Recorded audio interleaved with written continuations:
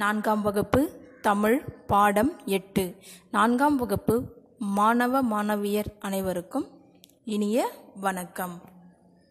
இன்று நாம் காணப்போவது விடியும் வேலை. புத்தகம் எடுங்க.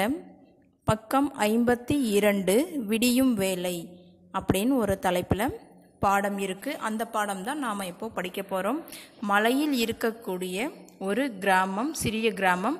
அந்த கிராமத்தினுடைய இயற்கை அழகை பற்றி நிறைய கருத்துக்கள் இங்கே சொல்லி இருக்காங்க. அதை தான் நான் இப்போ உங்களுக்கு படிக்க போகிறேன் படித்து காட்ட போகிறேன் நீங்களும் கூடவே சேர்ந்து படிக்கணும். படிக்கலாமா? மன்னவனூர் ஓர் அழகான மலை கிராமம். மன்னவனூர் அப்படிங்கிறது தான் அந்த கிராமத்தினுடைய பெயர். இனிய காலை வேளை மழை பெய்து ஓய்ந்திருந்தது. சாலையில் அங்கும் இங்குமாக தண்ணீர் நின்றிருந்தது.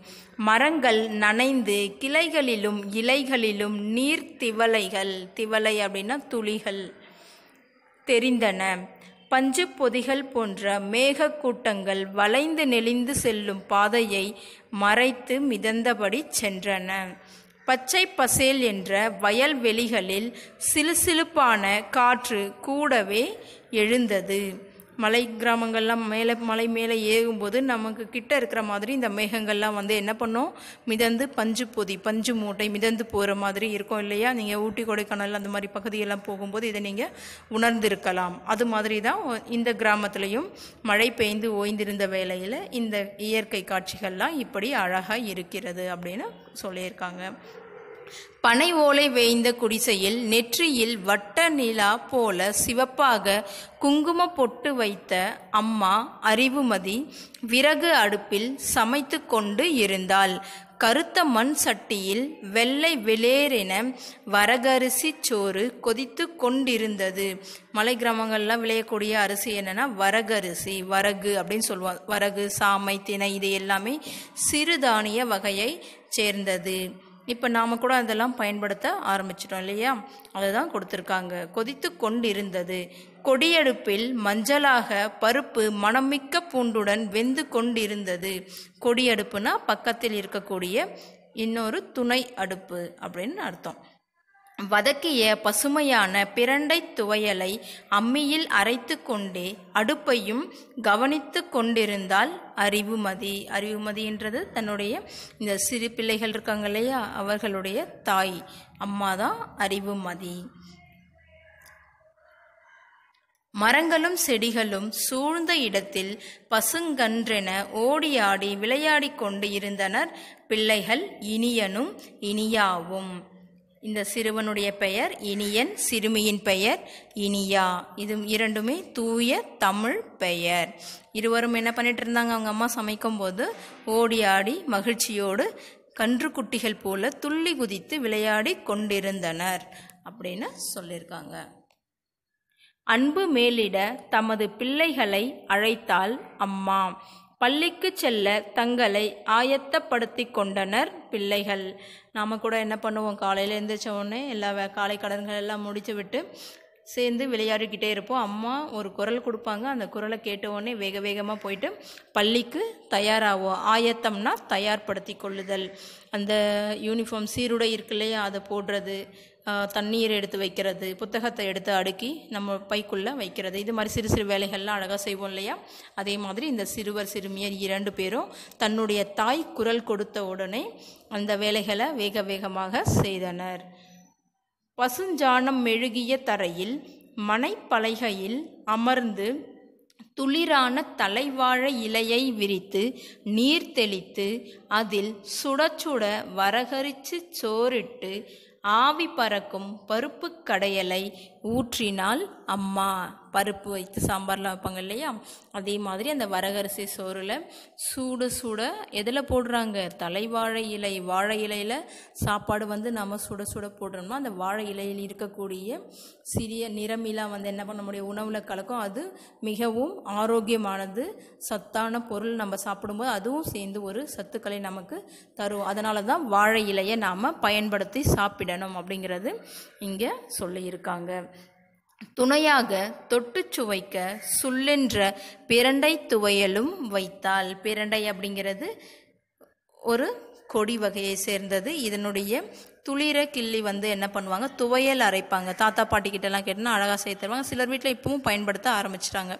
என்ன கிடைக்கிறது கொஞ்சம் கஷ்டம். ஆனால் தேடி பிடிச்சு நாம் வாங்கலாம். பிரண்டை துவையல் அடுத்து தூதுவளை துவையல் இது மாதிரிலாம் வந்து சாப்பிட்டிங்கன்னா உடலுக்கு எதிர்ப்பு சக்தியை அளிக்கக்கூடிய உணவு. நாக்கு சப்பு கொட்ட பிள்ளைகள் விரும்பி உண்டனர். பின்னர் தாயிடம் விடைபெற்று பள்ளிக்கு துள்ளி குதித்து ஓடினர். சாப்பிட்ட உடனே என்ன பண்ணாங்க இரண்டு பேருமே? தாயிடம் விடைபெற்று பள்ளிக்கு துள்ளி குதித்து ஓடினர். உங்களை மாதிரி அழகாக பைகளெல்லாம் மாட்டிக்கிட்டு வேகமாக எங்கே வராங்க? பள்ளிக்கு வருகிறார்கள். வாய்க்காலும் வரப்பும் நிறைந்த வயலில் வேலை செய்து கொண்டிருந்த கணவனுக்கு உணவளிக்க களையத்தில் சோறுடன் அம்பென விரைந்தால் அறிவு மதி. தன்னுடைய கணவர் அந்த சிறு பிள்ளைகள் இருக்காங்க இல்லையா? அவர்களுடைய தந்தை எங்கே வேலை செய்துட்ருக்காரு? வாய்க்கால் வரப்பு விவசாயம் செய்துட்ருக்காரு. அந்த விவசாயத்து இருக்கிற செய்கிற இடத்துக்கு போயிட்டு தன்னுடைய கணவருக்கு என்ன பண்ணுறாங்க அம்மா உணவுகளெல்லாம் களையத்தில் களையல்னா நம்ம ஒரு பாக்ஸ் டிஃபன் பாக்ஸ் லஞ்ச் பாக்ஸில் சொல்லுவோம் இல்லையா? அதே மாதிரி ஒரு பாத்திரத்தில் அழகாக எடுத்துக்கிட்டு போகிறாங்க இனிமையான காலை பொழுது இப்படியாக கழிந்தது. ஒவ்வொரு நாளும் இந்த நிகழ்ச்சி தொடர்ந்து நடந்து கொண்டே இருக்கிறது. இந்த பாடத்தில் இயற்கையின் எழில சொல்லியிருக்காங்க இயற்கையின் அழகை சொல்லியிருக்காங்க. அடுத்து பார்த்தீங்கன்னா உணவு சத்தான உணவுகளை உணவு வகைகளை அதை பற்றியும் நமக்கு சொல்லியிருக்காங்க. இந்த இரண்டுமே நாம் இந்த பாடத்திலேருந்து தெரிஞ்சுக்கிட்டோம். இது எல்லாமே நம்ம கண்டிப்பாக கடைபிடிக்கணும். இயற்கையை பாதுகாக்கணும். இயற்கையை இன்னமும் நாம் அதிகப்படுத்தணும். தேவையான சத்தான உணவுப் பொருட்கள் ஆரோக்கியமான உணவுப் பொருட்கள் அம்மா எப்போவுமே நமக்கு நல்லது தான் செய்வாங்க. அவங்க செய்கிறது என்னவா இருந்தாலும் நாம் என்ன பண்ணணும்? கண்டிப்பாக அதை சாப்பிடணும். எனக்கு இது பிடிக்கல அது பிடிக்கல அப்படின்னு சொல்லிட்டு அடம் பிடிக்க கூடாது. அடுத்த பகுதி புத்தகத்தில் பக்கம் ஐம்பத்தி ஐந்து எடுங்க. சரியான பலூன்களை எடுத்து பொருத்துக. முதல் வினா வேலை அப்படின்னு கொடுத்துருக்காங்க. புத்தகத்தில் இருக்கு இல்லையா? அந்த லை அப்படிங்கிறது தான் சரியான வினா. இந்த லை வந்து வேலை எதை குறிக்கும் அப்படின்னா செயலை தான் குறிக்கும். இங்கே தவறாக உங்களுக்கு அச்சிடப்பட்டிருக்கு. அதனால் வேலை அப்படிங்கிற இடத்துக்கு சரியான பொருள் என்னன்னா நேரம். புத்தகத்தில் பாருங்கள் வேலை நேரம் அப்படிங்கிற பலூன் எங்கே இருக்கோ அதோட சேர்த்து நீங்கள் இணைக்கலாம். அடுத்தது இரண்டு. இரண்டாவது என்ன கொடுத்துருக்காங்கன்னா பொதி. பொதி அப்படின்னா மூட்டை அப்படின்னு அர்த்தம்.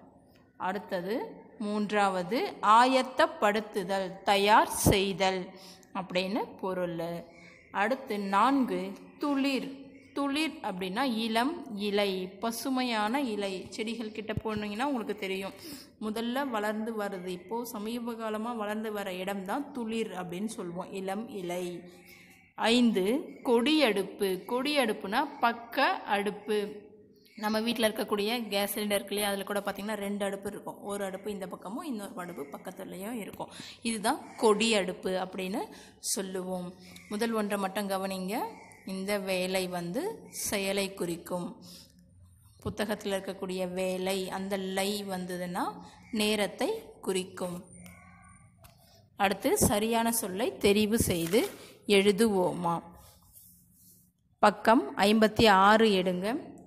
சாலை எங்கும் இச்சொல்லை பிரித்து எழுத கிடைப்பது சாலை கூட்டல் எங்கும். சாலை எங்கும் சாலை கூட்டல் எங்கும். இரண்டு சுண்டி இழுக்கும் இச்சொல்லை பிரித்து எழுத கிடைப்பது சுண்டி கூட்டல் இழுக்கும். சுண்டி இழுக்கும் சுண்டி கூட்டல் இழுக்கும். ஓடி கூட்டல் ஆடி என்பதை சேர்த்து எழுத கிடைக்கும் சொல் ஓடி யாடி.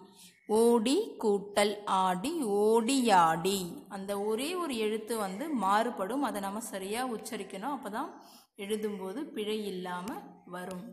நான்கு காலை கூட்டல் பொழுது என்பதை சேர்த்து எழுத கிடைக்கும் சொல். காலை பொழுது இப்பு அப்படிங்கிற எழுத்து சேர்க்கும்போது வரும்.